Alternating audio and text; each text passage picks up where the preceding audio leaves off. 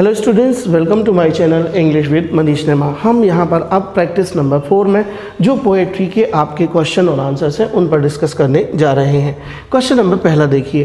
Practice four में practice set number four में पहला क्वेश्चन है how does Frost present nature in the poem dust of snow dust of snow कविता में Robert Frost ने nature को कैसे प्रदर्शित किया है? ये हमें आंसर में लिखना है। हमारा आंसर है Frost use a hemlock tree crow and form of snow तीन चीज़ों को यूज़ किया है डस्ट ऑफ़ स्नो में रॉबर्ट फ्रॉस्ट सर ने। वो क्या क्या है? नंबर फ़र्स्ट एक हेमलॉक ट्री है। नंबर सेकंड हमारा है क्रो और तीसरा है फॉर्म ऑफ़ स्नो यानी पार्टिकल्स ऑफ़ स्नो जिसे डस्ट ऑफ़ स्नो ही कहा है कवि ने। In the poem the crow and the hemlock tree represent sorrow इसमें से दो चीज़ें जो हैं, क्रो और हेमलॉक ट्री जो क्रो और हेमलॉक ट्री है, वो किसको प्रदर्शित करते हैं? वो सौरो यानी दुख को प्रदर्शित करते हैं। The form the form of snow यहाँ पर आपको थोड़ा सा अमेंड करना पड़ेगा।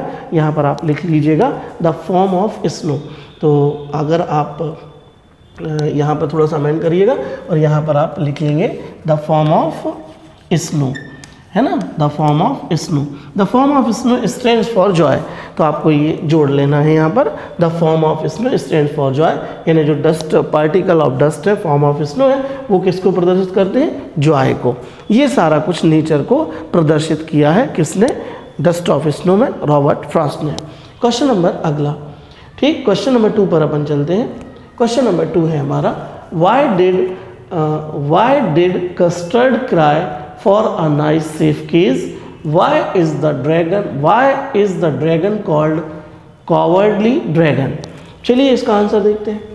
ठीक custard custard cried for a nice safe cage तो कस्टर्ड जो है वो रोया किसके लिए रोया? एक नाइस और सेफ़ केज के लिए। केज यानी होता पिंजरा।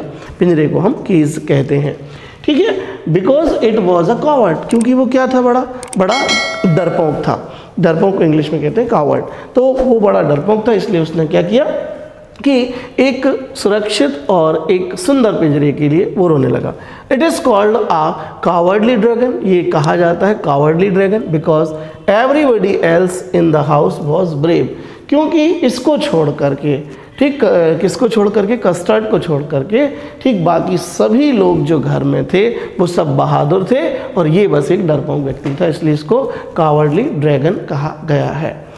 अगला क्वेश्चन नंबर थ्री ठीक why does the poet say I would not intrude on him why does not he offer him money to buy another ball फिर एक बार द बॉल पोएम से हमारे पास प्रश्न है, जिसमें हमसे पूछा गया है कि बताइए क्यों कहता है पोएट कि मैं इंट्रोड्यूड इंट्रोड्यूड मतलब मैं बिल्कुल बीच में नहीं बोलूँगा और ना ही मैं दूसरी गेंद खरीदने के लिए उसको पैसा दूँगा। क्यों? ऐसा क्यों है?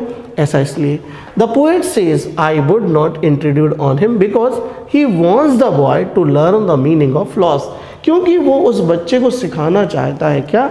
मीनिंग सिखाना चाहता है कि जो लॉस होता है, उसकी कीमत क्या होती है? जब हमारे हाथ से कोई चीज़ खो जाती है तो हमें कैसा लगता है और हम उसकी कीमत कितनी करते हैं, कितनी समझते हैं, ये चीज़ समझाने के लिए पोएट उसको ना तो अगली बॉल ख़रीदने के लिए पैसे देता है, ना ही उसको कुछ बोलता है कि तुम्हारी बॉल क्यों खो गई, ना उसे मनाता है।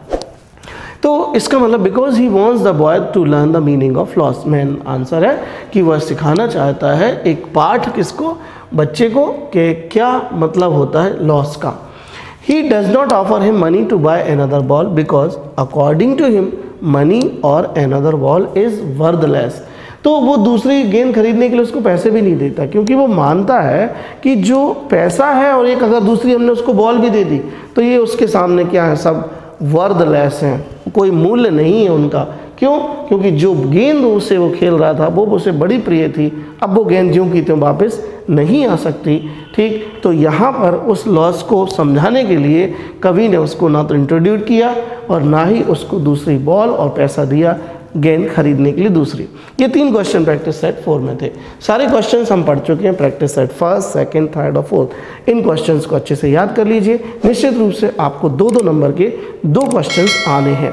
पोएट्री के आपको को तीन क्वेश्चन दिए जाएँगे और तीन क्वेश्चन में से आपको दो चुन करके करना है।